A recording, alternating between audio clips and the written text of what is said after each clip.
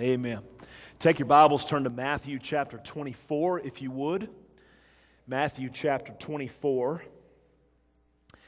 And this morning, for our text, we're going to read the first 12 verses of a powerful, powerful chapter, most all of it spoken from the lips of Jesus Christ.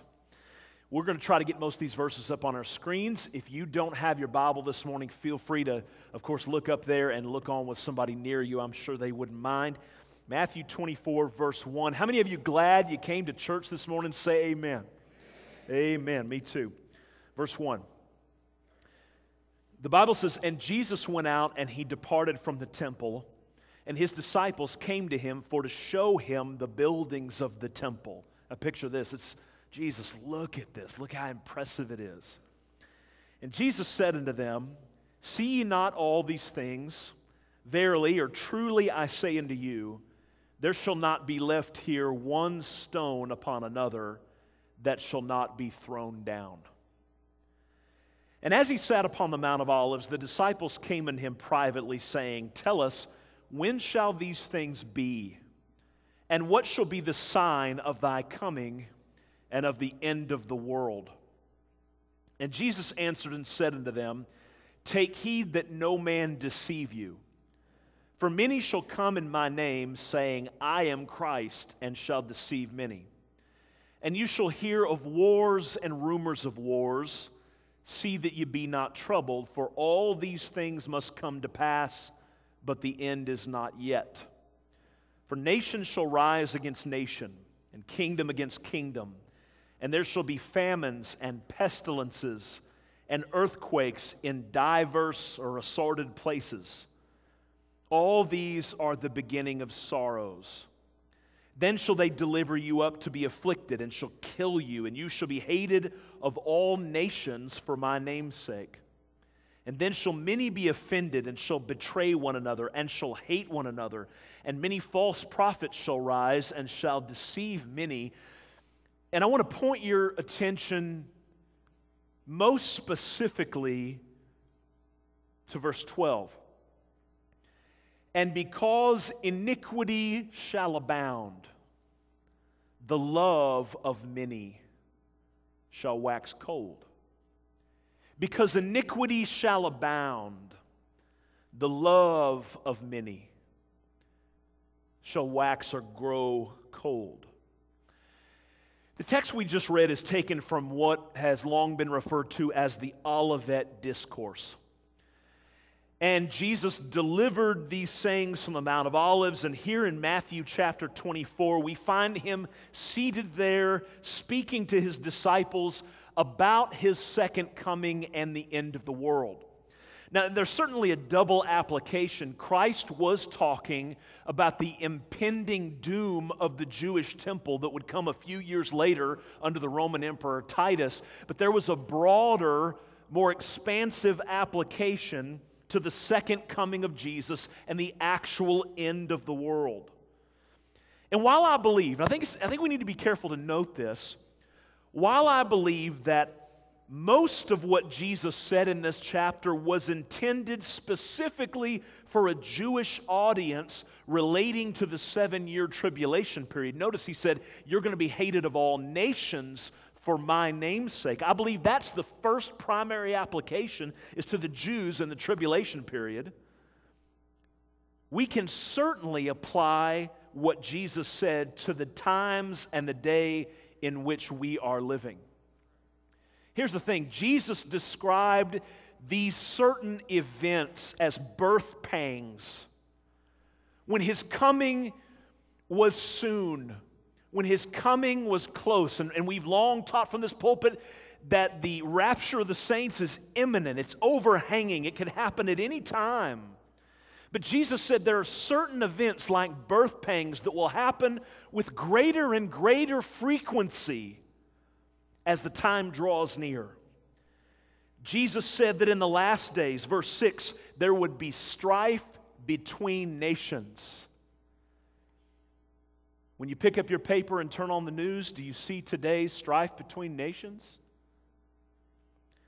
Jesus said that in the last days there would be hunger, disease, and increasing cataclysmic events worldwide. Let me ask you this morning are we seeing worldwide cataclysms like perhaps never before?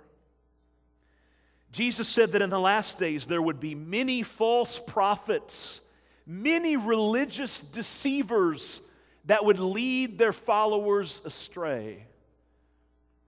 If you know anything about our culture, if you know anything about the world scene, you know this is happening all over our world. But this morning, I want to focus the remainder of our time together on another condition that will exist in the end times. And I've heard a lot of sermons about the conditions we just described. I've very seldom heard a sermon on this condition mentioned in verse 12 that Jesus said, Listen, toward the end of it all, this is going to be happening all over the place. And here's what he said Because iniquity shall abound, the love of many shall wax cold. In the last days, iniquity will abound, Jesus says. That word iniquity in Greek means great wickedness or injustice. Literally, in some translations, uh, put it this way it means lawlessness, casting off all parameters of God and man. And Jesus said this kind of lawlessness, this kind of rampant wickedness would abound. That word means to exist in great quantity. Jesus said, Don't be shocked. Don't be surprised when things on earth are on the downhill slide, when depravity is spilling out all around you, when things seem like they're getting worse and worse. Jesus says, I'm telling you in advance that's going to happen. And friends, need I convince you? Need I, need I give statistics and details and depressing example after example about the fact that iniquity abounds in our world and in our nation? It's everywhere. The most dangerous problem, problem in America, listen, is not terrorism, it's sin. The most horrible disease in America is not AIDS it's sin. Iniquity abounds. 2 Timothy 3, listen to this. This is, this is so vivid. I mean, it, it could absolutely be a headline for today's culture. Listen to 2 Timothy 3. This know also that in the last days perilous times shall come.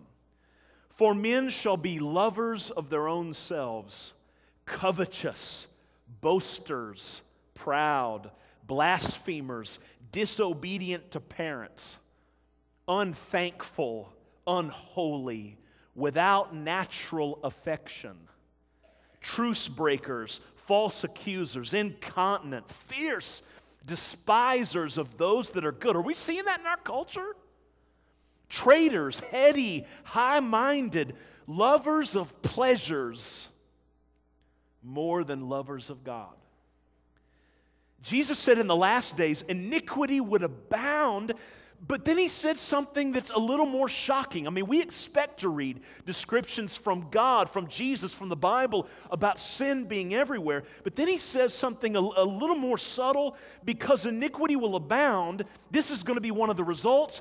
The love of many shall wax cold.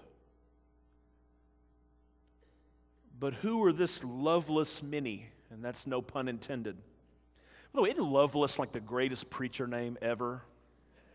I have people constantly ask me about that, like, like loveless. Don't you mean love more? And I'm like, I've never heard that before. Thank you so much. Who are these folks? The, these that, because there's such wickedness, their love is growing cold. They're withdrawing their affections. They're protecting their hearts. They're taking care of number one. The context indicates that they are the Christians that will be alive in that day. Because of the abounding iniquity, their love had grown cold. I want to bring you a message this morning entitled Abounding Sin and Abating Love. You remember in Genesis when the Bible says that those flood waters abated? That means they started drawing back, abounding sin and abating love. Scientists tell us that cancer is a disease in which cells in your body begin to multiply without control. These multiplied cells form what is known as a tumor, and a malignant tumor will invade, compress, and eventually destroy all healthy tissue that it comes in contact with. There's no family in this auditorium that hasn't been touched by cancer, including mine, that hasn't seen its terrible destructive effects. And listen, when that tumor's there, you got to get it out. It'll destroy everything it comes in contact with. And listen, we are living in a very sinful world today. We're living in a world where iniquity abounds. It offers constant temptations, constant enticements. But, Christian, once you allow sin to get into your lifestyle, once you give up that territory and say, you know what, I fought it long enough, if you can't beat them, join them once you've said in some or multiple areas of your existence, I'm going to stop the fight and just live. Just like that cancer, listen to me, it will grow, it will compress, it will eventually destroy. And here's what it will destroy the love in your heart. When your life becomes infected with sin, its very first target is your love. Well, we, you know, these last couple of series, we've had a lot to say about the adversary. We've had a lot to say about Lucifer, Satan, the dragon, all these names for him in the scripture because we believe the Bible teaches he's not a force, he's not an idea, he's not a personification of evil, he's, he's, a, he's a person. He has a personality. He's a fallen angel. He is at work pulling the strings behind the scenes of things that you see here on earth.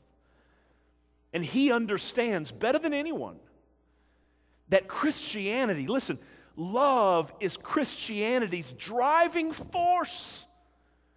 It's the lifeblood of Christianity. It's the essential motive for everything we do to the point that God says, listen, I don't need all your ministries. I don't need all your prayers. I don't, I don't need all the things you can offer me. What can you offer me? I'm God.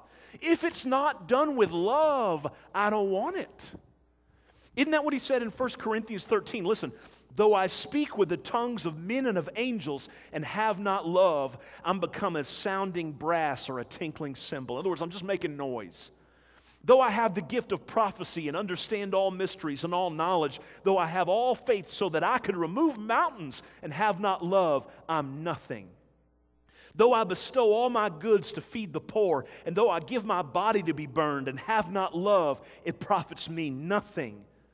And now abides, or in other words, these remain faith, hope, love, these three, but the greatest of these is love. Greater than faith, Lord? Yes. Greater than hope? Yes, love. It's the lifeblood of Christianity. And in these wicked times, I wouldn't have to debate anybody in here that we're living in wicked times, right? Listen, your love, your affection is very much at risk Let's talk about it this morning abounding sin and abating love. I want to talk about three loves that are at risk in these wicked times. Here's the first one our love for Him, our love for God. Matthew 22, one of the most powerful sections of Scripture in the Bible. I mean, it's honestly just shocking that someone asked Jesus, Jesus, what's the cliff notes of the law? I mean, can you sum up the entire Old Testament in a statement? And, and, and we would think Jesus would say, absolutely not. Carry out the entire Old Testament. Jesus said, sure. And here's what he says Jesus said unto him, Thou shalt love the Lord thy God with all thy heart and with all thy soul and with all thy mind. This is the first and great commandment and then love your neighbor as yourself. He said that's the cliff notes of it all. You do those two, it, it all works out. So when sin begins to abound in your life, your love for God begins to withdraw. 1 John 2:15. Ooh, this is strong. Love not the world. Now when it says world, it doesn't mean the people of the world necessarily. It doesn't mean human beings, it doesn't mean the cosmos. It means the world system dedicated to wealth, pleasure, power, you know, this cultural thing that so many people wake up for every single morning. God says, don't be in love with that, neither the things that are in the world. If any man love the world, the love of the Father is not in him. What does that mean? Listen, where your love for the world abounds, your love for God abates. A love for God and a love for the sinful world can't coexist. One always drives out the other. I won't ask you to raise your hand this morning, but I want, I want to give you an example. I wonder how many of you are in here today and you're in the middle of the summer and you're on a diet. Okay, I will not ask you to raise your hand. I'm currently on the rotation diet. That means every time I turn around, I eat. So I've got to do something quickly or it's going to be bad. Some of you are on my diet with me, right? It's fun, man, very tempor- temporarily. But here's the thing when you are, when your doctor or your trainer or whoever puts you on that low fat, low carb, low fun diet, right? When you start out, man, isn't the food you're eating so distasteful? Like, it just doesn't taste like that other stuff. Like the salt and the fat and the grease and the fried and right? And this is just so bland and it just it doesn't taste good. You know what? Stick with it a while and things start changing right it starts tasting better. You start feeling better right? You don't get rickets. It's amazing. You know eat some vegetables. It's great. And it's like when you do that it starts changing over. And if you eat like that for six months then you like head down to Double Dave's and hit up the buffet, it'll make you sick. Why? Things have changed. How many of you tuning in with me? Say amen. A Christian who loves the Lord and is walking with Christ. They're not perfect, there's no perfect one anywhere but they're reading this book regularly. They're spending time talking to God. Maybe not like they should. No one does it like we should, but they're on their knees talking to God regularly. They're in the house of God with God's people regularly. They're ministering regularly. They're doing what we talk about every week. They're seeing God, sharing life, and serving others. Let me just tell you something. And some of you know exactly what I'm talking about they will find the things of this world distasteful. They'll be very sensitive to things that are wicked, to things that are filthy, to things that are. They'll turn on the television when something perverse comes on, they'll pick up on it. It'll be offensive, it'll rub you the wrong way. Right? Why? You're walking with Christ, you're in that mode. But on the other side of this, oh, and by the way, a Christian who loves the Lord and is walking in fellowship with Christ finds sin distasteful. It doesn't mean they can't do it, it doesn't mean it loses all attraction, don't get me wrong, but you lose your appetite for it. Now, you can still sin, but at least initially it'll make you sick. But let me talk about the other side of that. If you're a Christian and you've been living for a long time, a long way away from Jesus, the old timers called that condition being backslidden. I'm not spending any time in this. My, my, my attendance in the house of God is hit and miss. My time with the people of God is, is non existent. I, I, hardly ever pray except when I'm in trouble. If that's where you're living, and by the way, we love you. We're not here to condemn you. We've all been there, okay? This preacher, I still wrestle with moving back there if I'm not careful, other than missing church, because that looks super weird if I just don't show up for large sections of time. But here's the thing show me somebody living like that. Let me tell you what they find distasteful church services that go five minutes over. Let me tell you what they find distasteful reading this at all. And by the way, let's, let's pl- I don't mean to offend you. Let's please do away with this thing of I just don't like to read, especially if you're in the younger generation. Really? We are the most texting, twittering, Facebooking generation that's ever. You read 24 7. You don't have a taste for this. The things of God have become distasteful to you. I don't know that I need it, but let me give you another example. You ever walk into a movie theater or a dark something on a really bright day, right? And you get inside and it's just like so dark, you can't even make your way around. You're just practically blind. Spend two hours in there and then come back out into that sunshine, right? It's blinding. Here's what happens, and it's so subtle. It's so subtle. If you're a Christian, you have a new heart for God. You love Jesus. I'm telling you, there's one great proof. If you don't have a heart that at some point fell in love with Jesus, you're not a Christian. I don't care whose dotted line you signed. God gives you a new heart for Jesus. That's, that's the definition of a new birth is a profound change of heart toward God. It makes you have a heart that loves other believers. We start out like that, but listen, if we don't feed it, we drift, and it's so subtle, man, that one day you get up and you don't feel like reading. That couple of occasions where you miss church. And I'm telling you, listen, when you get in the habit of missing church, isn't it so much easier to miss the next one? It's the easiest thing in the world. There is no Sunday on earth like sleeping in like Sunday, or excuse me, no day of the week like, like Sunday uh, for sleeping in. I'm just going to back up. That's all messed up. I tried to back my way around into that. You know what I'm saying, right? Sunday's a beautiful sleep in day. The devil sees to it.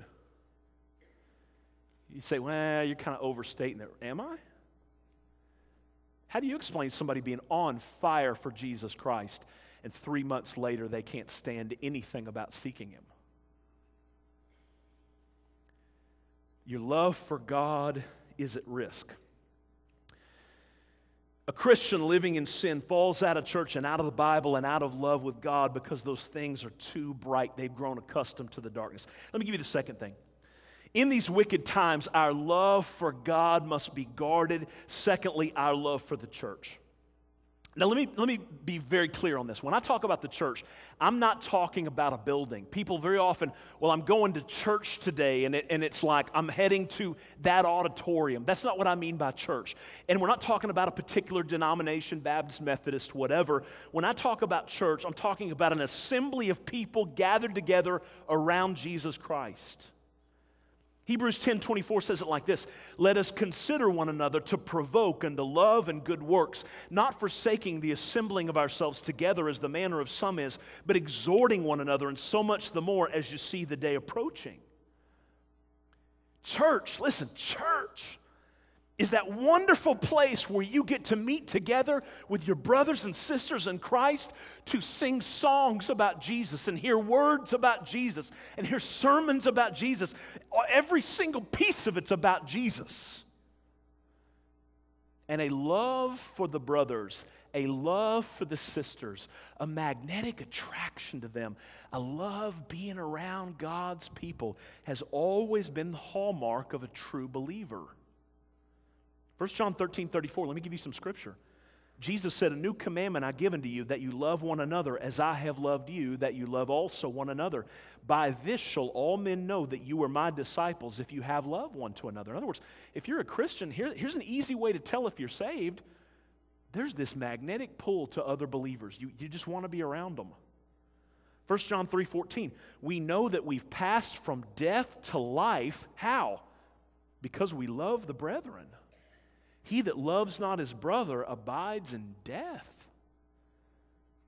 But when sin begins to abound in your life, love for your brothers and sisters in Christ begins to abate. When a Christian begins to slide back, we've all done it. One of the first things to go is their church family.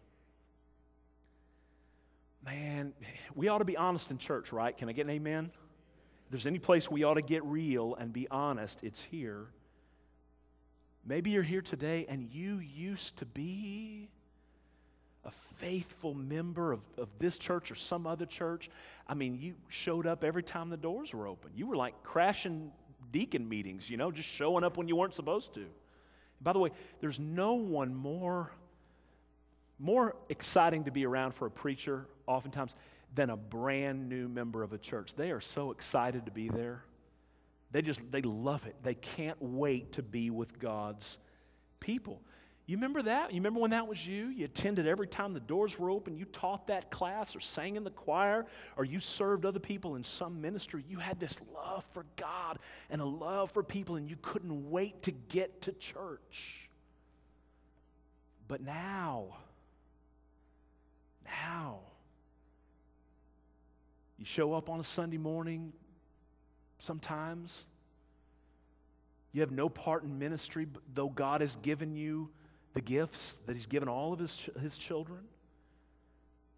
Your love for the brethren has grown cold. There's not that magnetic pull anymore. If you make it, fine. If you miss it, fine.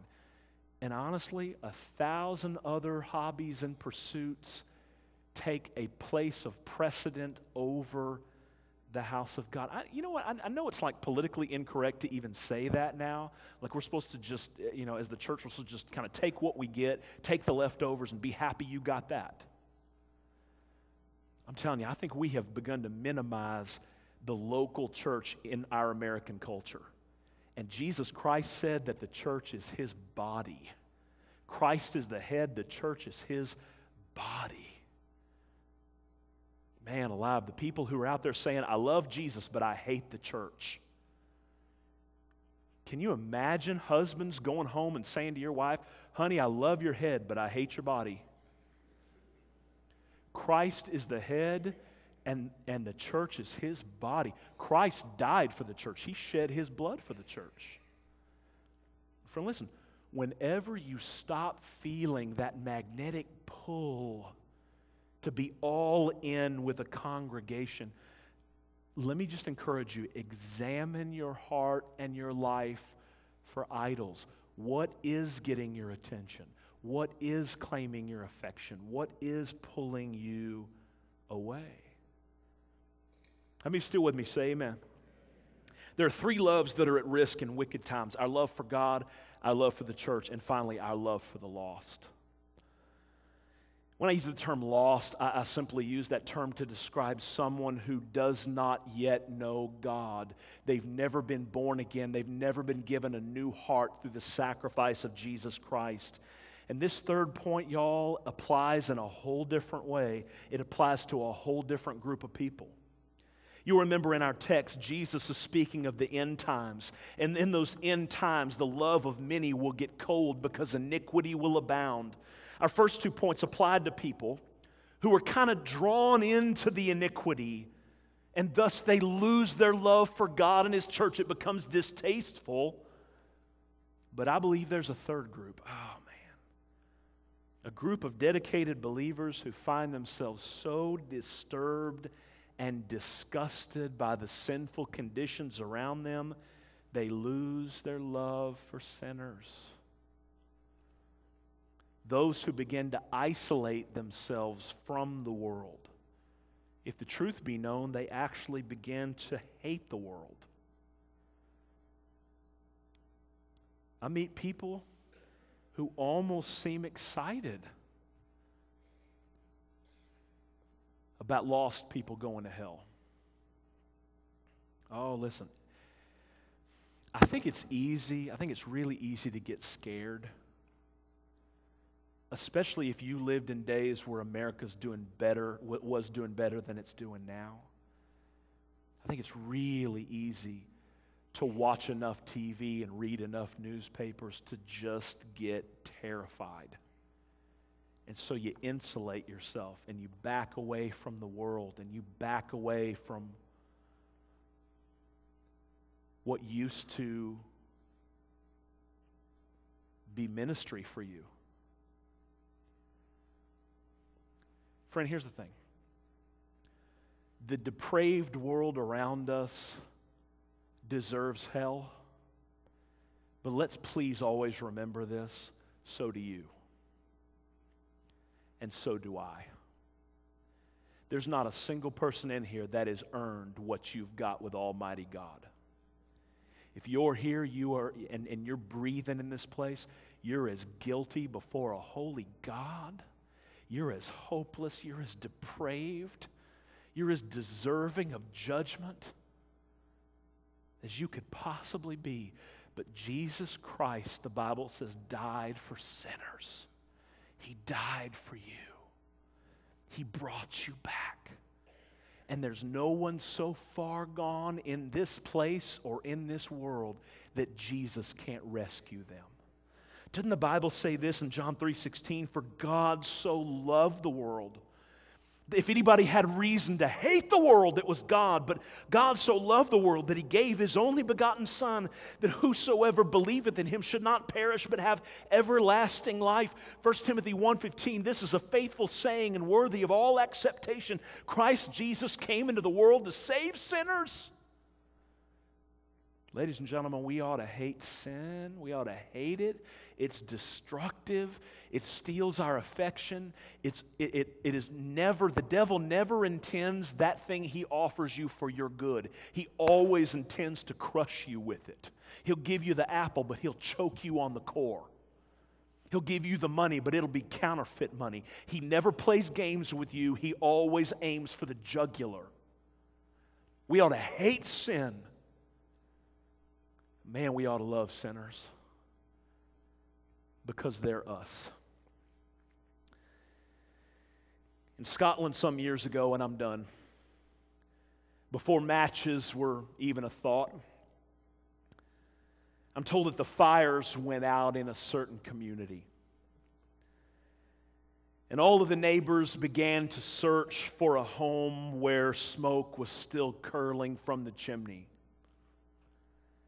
And finally, on a hillside, they found one little cottage where the fire was still burning hot. And so presently, they all came around to get a shovel of coals to carry back to their own blackened hearths. And after a while, the flames were burning all over the neighborhood. Listen, the fire is going out all over the place today. People's love is growing cold for God and the things of God.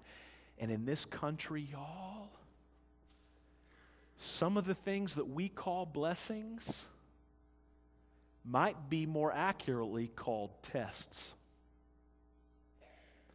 That money in the bank account that God allowed us to have is not just a blessing, it's a test. Living in this country with all of its freedoms and all of its resources and all of its options is a test. God help us to stay so close to Jesus that our hearts stay hot, that our affections stay on fire. Next Sunday, God willing, we're going to talk about exactly how to have this red hot love for Jesus and how to keep those fires burning. But I tell you this morning, just studying this was convicting. And maybe for you, it's convicting. And it's not to make you hopeless, it's not to make you beat yourself up. There's only one purpose of this conviction that God gives us it's to bring us to repentance. It's to bring us to the place where we say, Oh, Lord, I can't do it. I don't trust myself.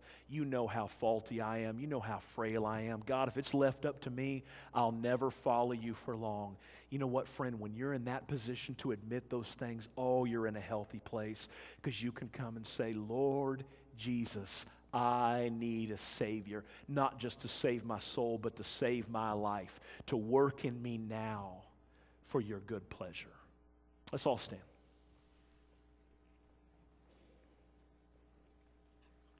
Brandon's coming. We're going to have a verse of invitation. And if no one needs to come, we won't tarry long. But I, I'm just betting there's somebody like me. When you hear a message like this, no matter the speaker, no matter the style, the content, which I'm absolutely convinced is biblical, that everything rises and falls on a love for Jesus that spills over into a love for others. Hey, listen to me.